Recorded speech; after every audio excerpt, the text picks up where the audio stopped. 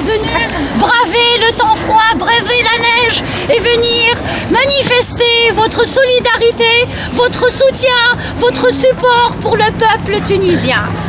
Je crois que nous sommes ici et euh, je, je, parle premièrement pour moi, mais aussi j'espère que je partage, vous partagez avec moi ce que je pense. On est là pour deux choses. Tout d'abord, pour exprimer notre soutien sans fin pour les Tunisiens, pour la jeunesse tunisienne. Cette jeunesse qui a grandi sur la dictature du président Ben Ali. Cette jeunesse qui, que nous avons parfois sous-estimée. Cette jeunesse que nous pensons peut-être euh, ailleurs, euh, dans, déconnectée de la politique.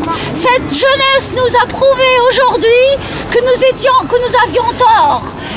C'est grâce à cette jeunesse-là que nous avons pu aujourd'hui venir ici célébrer à la fois notre joie, mais aussi notre décision pour un avenir meilleur. Donc ça c'est le premier point que je voulais partager avec vous. Le deuxième point c'est qu'est-ce que nous attendons du futur? Qu'est-ce que nous attendons de l'avenir? J'espère que ce qui nous attend va être meilleur. Meilleur de ce que les dernières années nous ont montré en Tunisie. J'espère que ce qu'on va faire, j'espère que on pourra former un gouvernement transitoire, un gouvernement qui regroupera tous les partis politiques d'opposition sans exception. Ça, c'est une grande étape. Et c'est votre devoir, c'est notre devoir à tous, tous les Tunisiens, de faire de la pression de continuer d'élever nos voix et d'appeler haut et fort pour que cette pour qu'il y ait un vrai gouvernement transitoire et qu'il y ait tous les partis politiques, sans exception, soient représentés.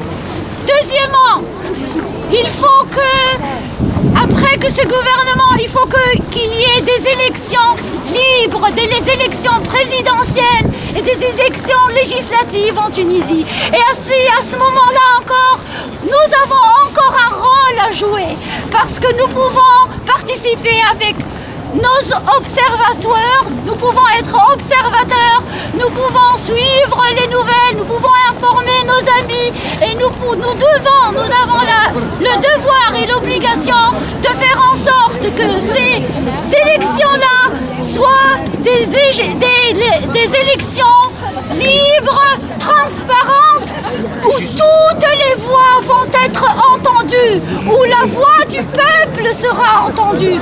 Nous avons, nous, nous, nous, avons tellement besoin d'entendre ces voix, les voix de Gasserine, les voix de Sidi Bouzid, les voix de Kef, les voix, de, les voix du Sud, les voix de Tela, les voix de Tunis, les voix de Bizerte, les voix de Jadouba, les voix de Touzer, toutes les régions. communautés, les, toutes les régions de Tunisie doivent être entendues.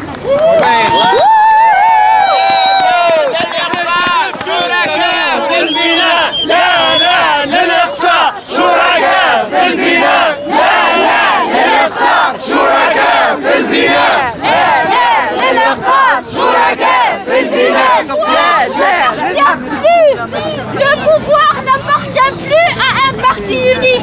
Le pouvoir appartient au peuple. Et nous avons le droit. Et la jeunesse tunisienne nous a montré le chemin. Et nous devons continuer sur ce chemin. Et toute la communauté internationale doit aider le peuple tunisien à suivre ce chemin. La voie est tracée. Il faut juste continuer. Merci mes amis. Merci pour votre